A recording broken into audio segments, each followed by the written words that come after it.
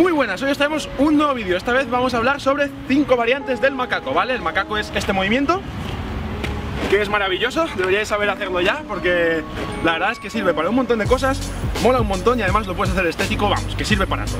Alguna gente me pregunta, porque tenemos el tutorial del macaco, si no sabéis hacerlo, iros al tutorial, que os lo dejamos en la descripción en algún lado. Y, y eso, que alguna gente me dice, pero ¿cómo sé hacia qué lado hacerlo? Os recomiendo que penséis hacia qué lado hacéis la lateral, porque si por ejemplo hacéis la lateral para la izquierda, cuando queráis sacaros el macaco, es más fácil empezar haciendo como una lateral para atrás, ¿vale? Como que de aquí, buscar aquí. Para ir sacándoos el macaco, ¿vale? Alguna gente también lo llama baldez. Luego hay gente que dice que el macaco es con la mano de aquí y el baldez es cuando buscas de aquí. Bueno, eso como queráis vosotros, ¿vale?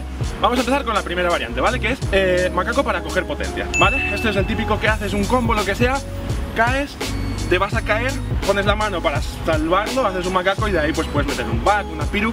Este macaco la idea es, no es que sea amplio y bonito, sino que simplemente coges potencia, ¿vale? Por ejemplo, o si quieres empezar un combo, lo que sea, caes, pones la mano aquí, no hace falta que lo hagas del todo por arriba, ni bonito ni nada, simplemente que cojas potencia, ¿vale? Que sea un macaco rápido y para coger fuerza, ¿vale? Que sería así, ¿vale? Ya os digo, si vuestro macaco es así, como un semi-scoot, tampoco pasa nada, porque lo que queréis realmente con este macaco es coger potencia, es decir, haces lo que sea, haces tu, Dios mío, triple cork, caes y pierdes el equilibrio para atrás, lo salvas, haces macaco y back, o piru o lo que os o triple cork, lo que queráis, pero lo tenéis para salvarlo, ¿vale? Luego, la segunda variante es simplemente hacerlo bonito y por arriba, ¿vale? Simplemente a la que apoyéis aquí, ¿vale? Subís y buscáis con la otra mano, ¿vale? Intentar buscar quedaros en pino. Cuanto más tiempo aguantéis, más bonito va a quedar, ¿vale? Entonces, de aquí y por arriba. ¿Vale? Simplemente eso, sencillo. Intentar subir alto, amplio y recordar que cuanto más os tronchéis con la espalda, más por arriba va a ser, ¿vale? En vez de hacerlo como por aquí, por el lado, ¿vale? Y esta mano busca por atrás, ¿vale? Entonces sería de aquí, ahí, ¿vale? Luego, la tercera variante, que esto es lo que tengo mis dudas si es variante porque habrá gente que haga así el macaco siempre, ¿vale?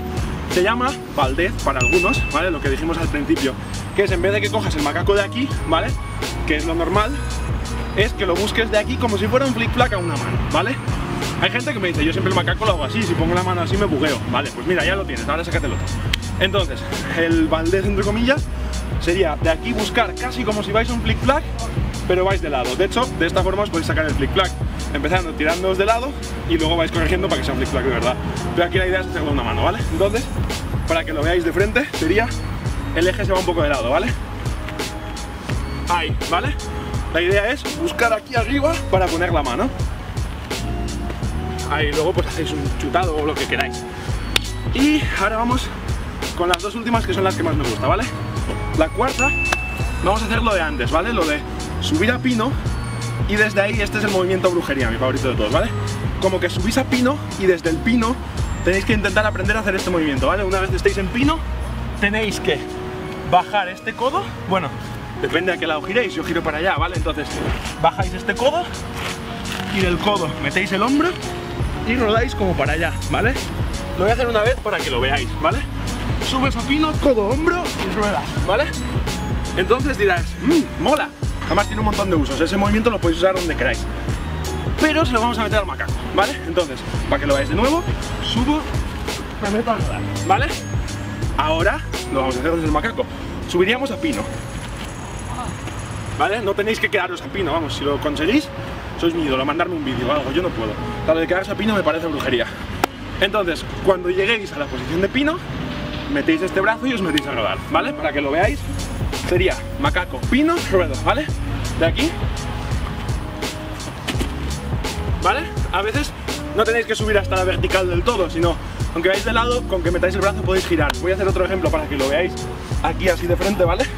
Estás ahí haciendo tu recorrido, triple core, caes aquí y ahora vamos al macaco rodar. Subes, pino y giramos, ¿vale?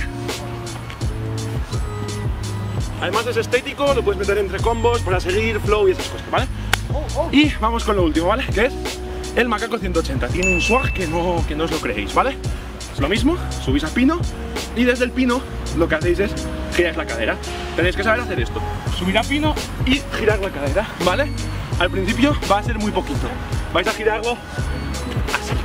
Pero lo vais haciendo poco a poco hasta que quede en plan super swag. A nivel cuesta, ¿vale? Entonces si tenéis un bordillito a césped o lo que sea, lo podéis intentar. Voy a hacer uno a nivel. Ya os digo, es jodido, pero para que lo veáis. Y caéis así en plan super swag y os rompéis la espalda porque necesitas mucha flexibilidad. Voy a hacer allá para que también lo veáis. ¡Ay, Dios! Uf, uf, la edad, ¿eh? Bueno, llegáis un bordillito, da igual, borde a césped. Aquí puede ser un poco más difícil porque tenéis que levantar más, pero lo ideal sería como bordillito o césped. Hacéis macaco, giráis. Voy a intentar hacer ahí. Un swag que no, que no puedes con él. Y nada, realmente esto va siendo todo. También está el Macaco 360, tenemos un tutorial, también os lo dejamos en la descripción.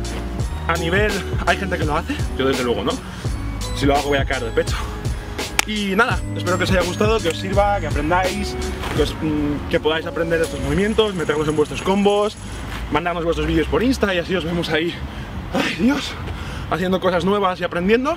Y nada, darle a like, suscribiros, compartirlo, tenemos las pulseras, escribirnos por, por direct y esas cosas, la ropa de Fury y todo eso. Y nada, voy a hacer un macaco 360 para que veáis cómo me caigo.